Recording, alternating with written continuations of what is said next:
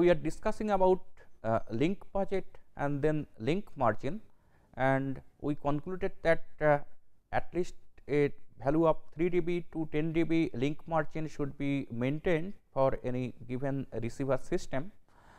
So, we will take one numerical example how to calculate a link budget and link margin. So, before that we will be using this formula simply. So, here P L uh, a function of R this P L it represents actually the path loss. So, here in the table free space path loss we are considering by L naught and in decibel scale we represented it by PLR. So, let us say we have a geostationary satellite link that operates over 35 to 36 gigahertz band with a transmit carrier power of 120 watt, transmit antenna gain given as 34 dB, IF bandwidth 20 megahertz, maximum distance 39,000 kilometer. So, it is a geostationary satellite. So, typical separation 36,000 kilometer, but it can change with time and here it is considered maximum value as 39,000 kilometer.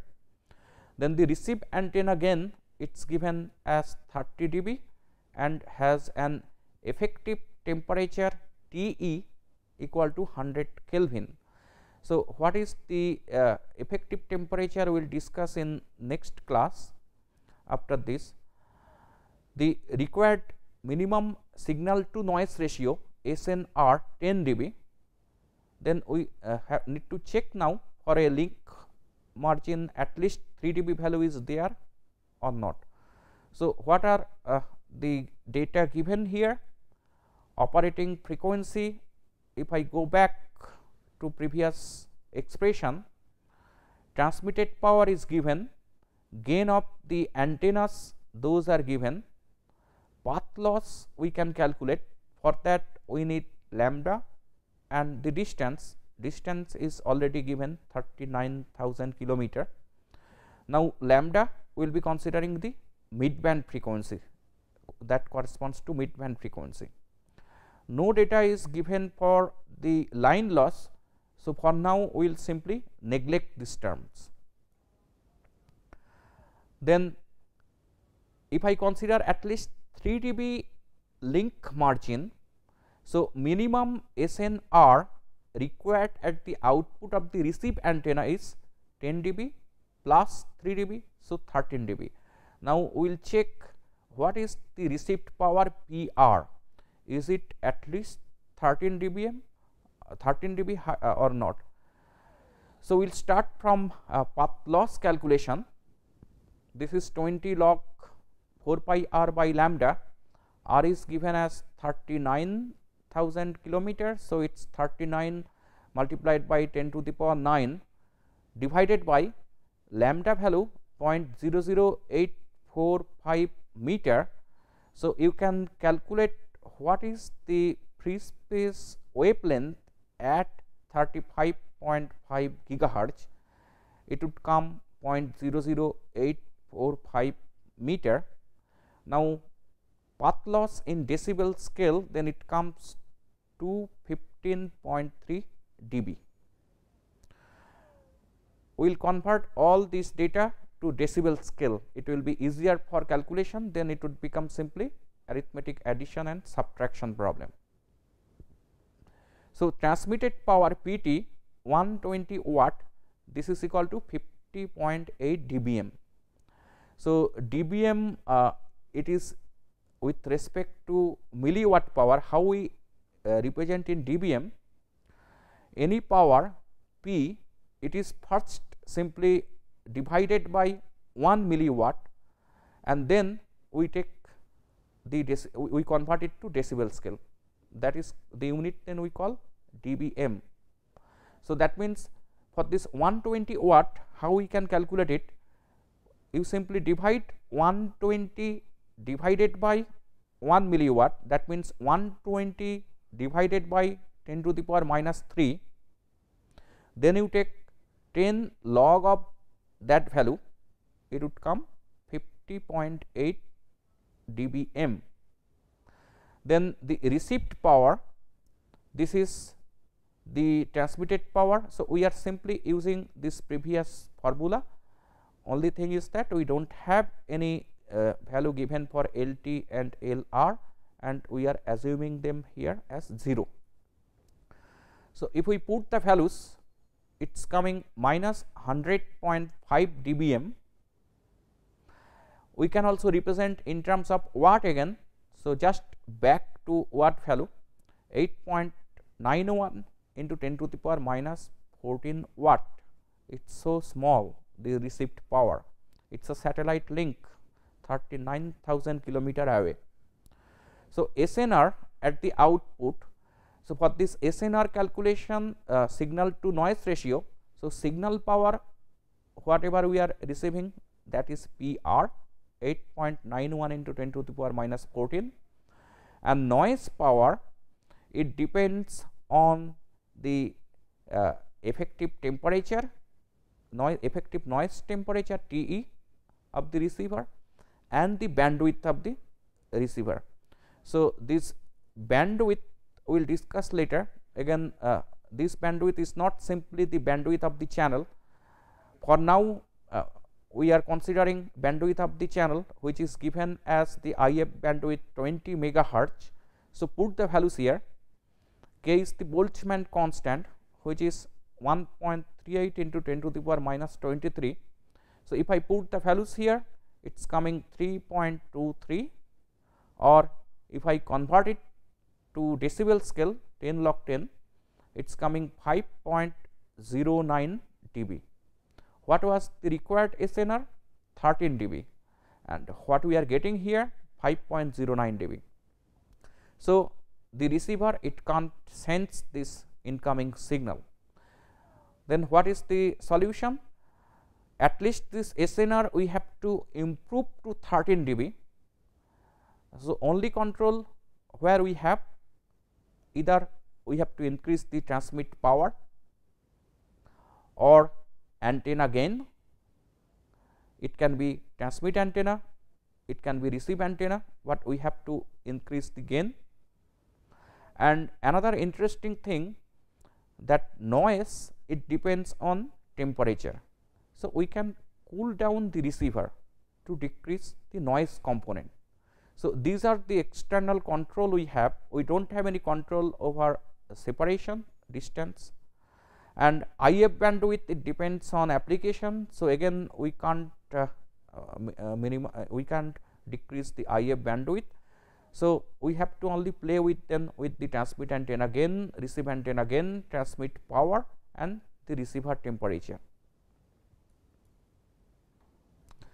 Next, before starting the next part, let us discuss uh, the digital modulation, popular types of digital modulation.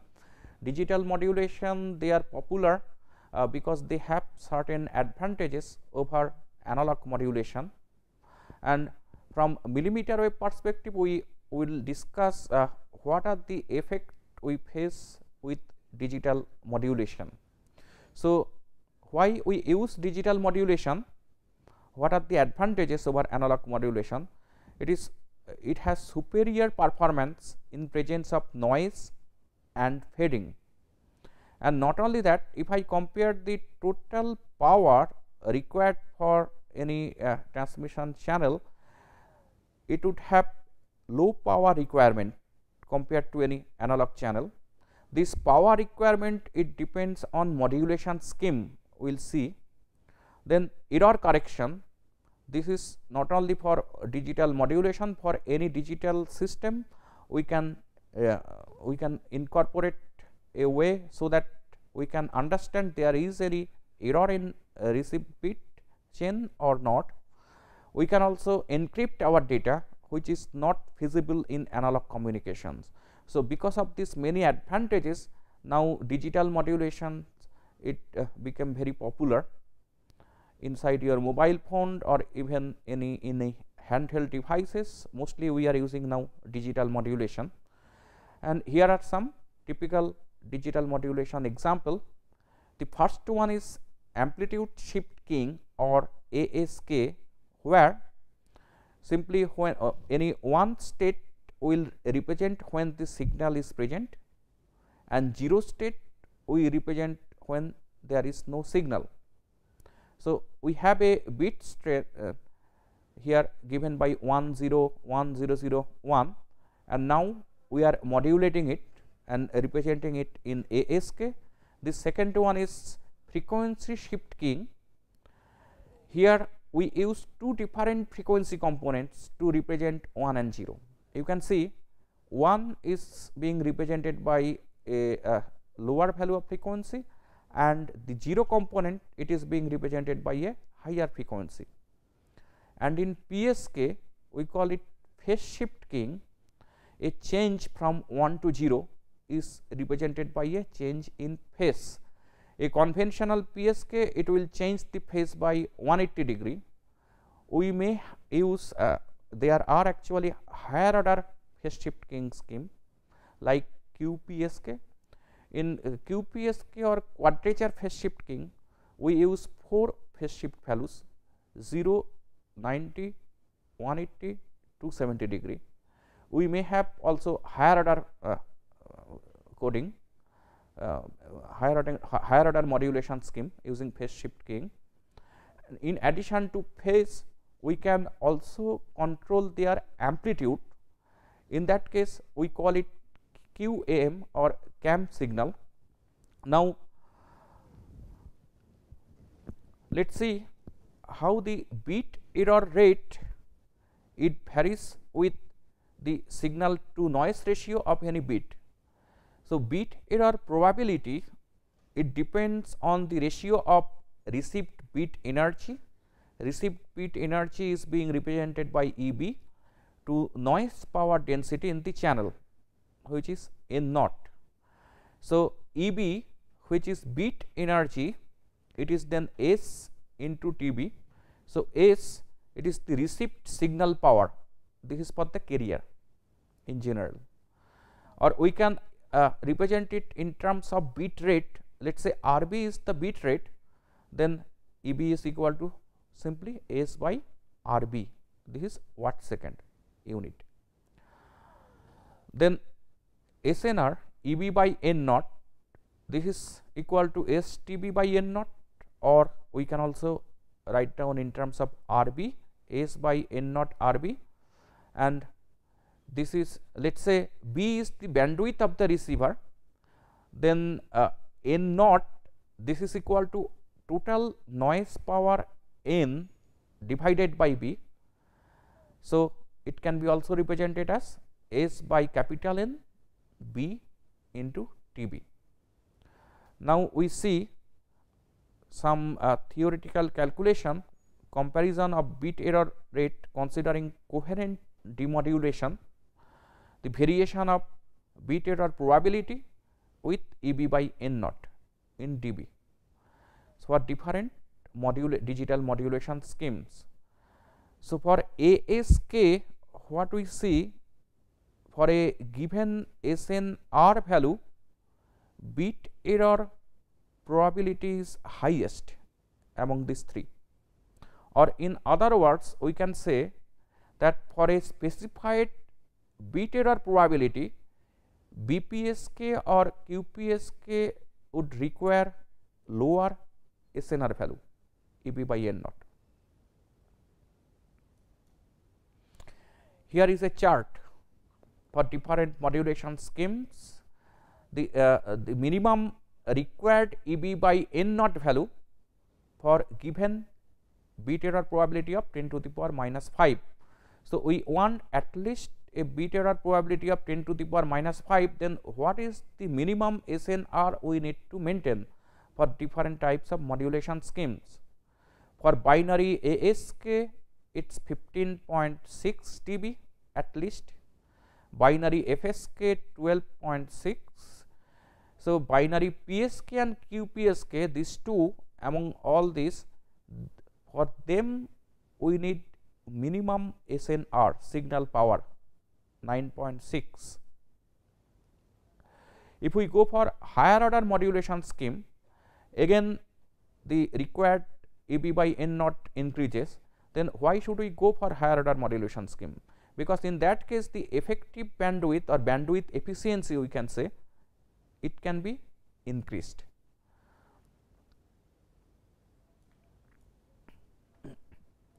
Let us take one numerical example.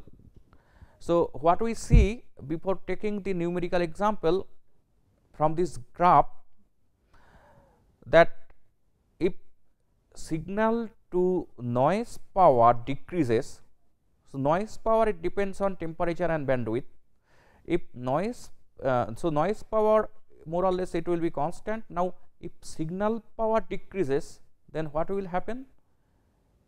Bit error probability it will increase, error will be high.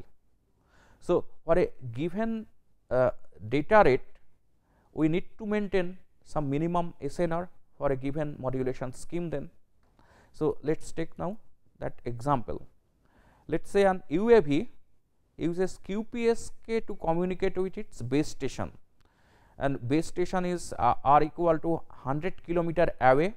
So, UAV it is a flying object then what is the maximum data rate for a bit error probability of 10 to the power minus 5. So, 10 to the power minus 5 then what is the required EB by N naught we have to first see from the chart. So, EB by N naught if I go back in this table it is given minimum bit error as 10 to the power minus 5 minimum EB by N naught required is 9.6 dB. So, 9.6 dB if we convert it to simply ratio it is coming 9.12. Now, other data given that transmit power is 1 watt, carrier frequency 77 gigahertz, transmit antenna gain 10 dB, receive antenna gain 30 dB and the system temperature 750 Kelvin. We also have some atmospheric loss 2 dB and required link margin is very high 10 dB. We start from path loss calculation. Path loss this is 20 log 4 pi r by lambda.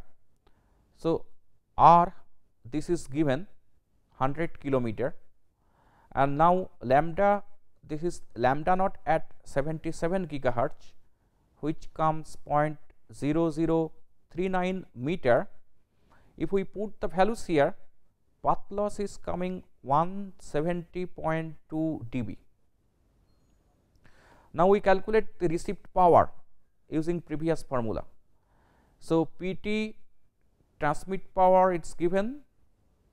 1 watt simply we have to convert it to dBm. G t it is already in dB given 10 dB. G r it is 30 dB. Path loss already we calculated 170.2 dB. And L A this term represents atmospheric loss. So, since it is a loss of 2 dB we are subtracting it. So, putting all the values here receive power it is minus 102.2 dBm very small. Now, considering link margin equal to 10 dB. So, then uh, you see this is the received power then PR minimum specified for the receiver that PR mean value it would be 10 dB down from this value or 102.2 minus 10 it is coming in watt if I convert it to watt 6.03 into 10 to the power minus 15.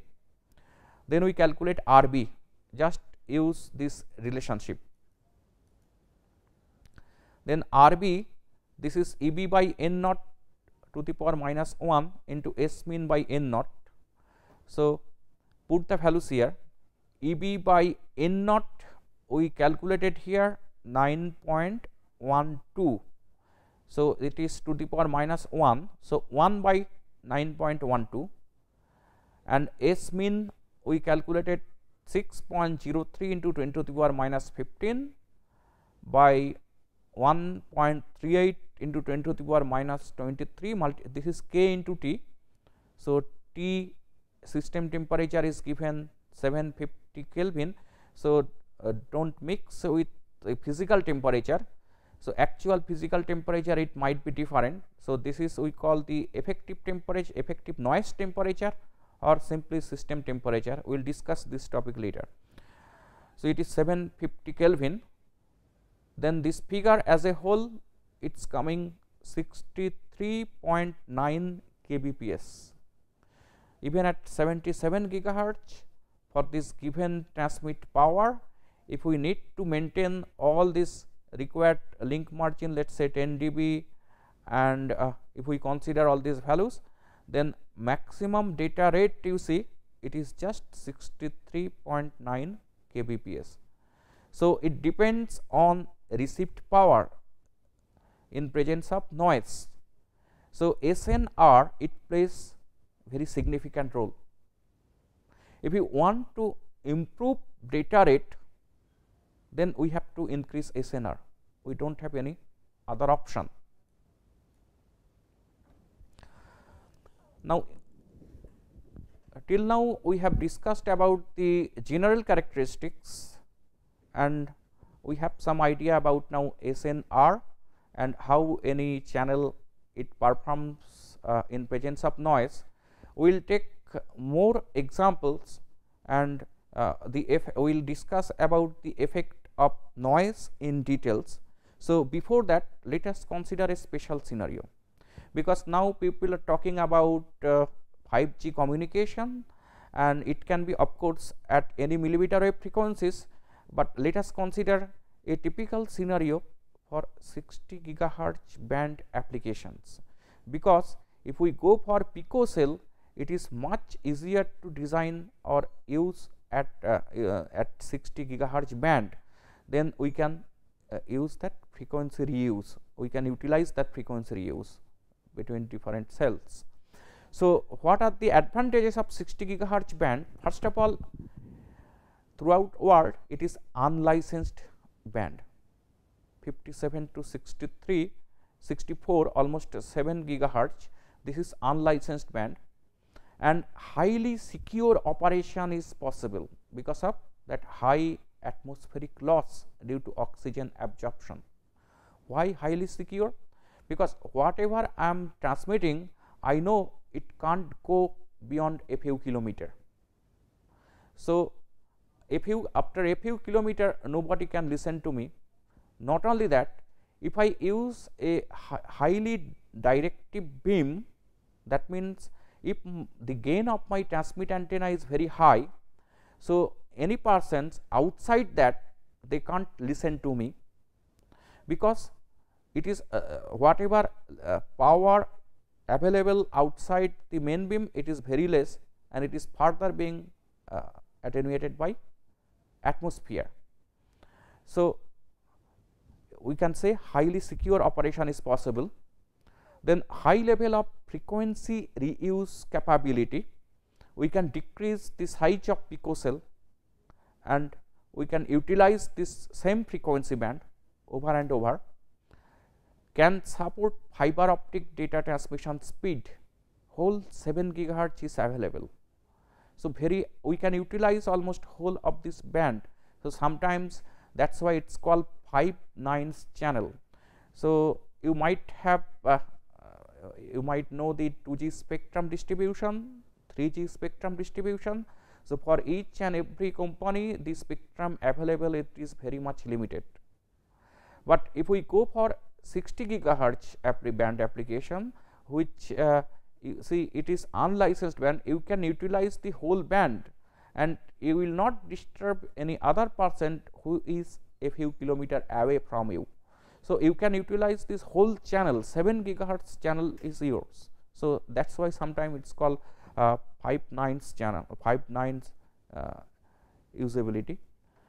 Then to some extent we can call mature technology because now uh, most of the components are available in market and uh, day by day uh, the cost becoming cheaper, but also we face some other problems So, let us discuss about those problems.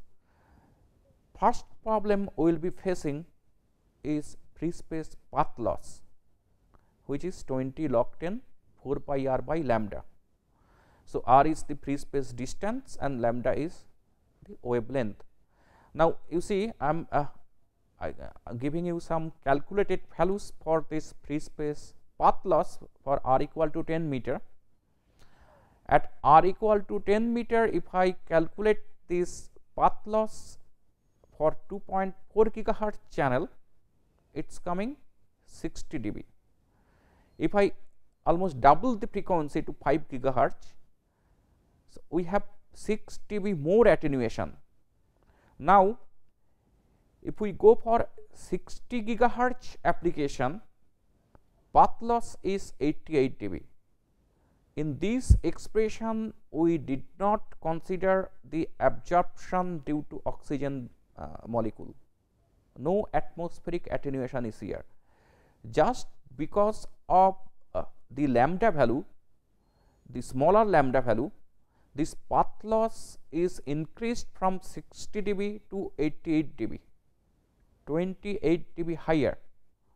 So, obviously, for a same signal power at the same distance, if I compare the performance of a 2.4 gigahertz channel with that at 60 gigahertz channel what we expect SNR will be much poor at 60 gigahertz.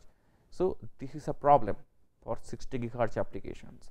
We have some other problem and we will take some numerical values and considering this 28 dB extra attenuation due to path loss can really any channel or any communication feasible at 60 gigahertz or not we will see after break.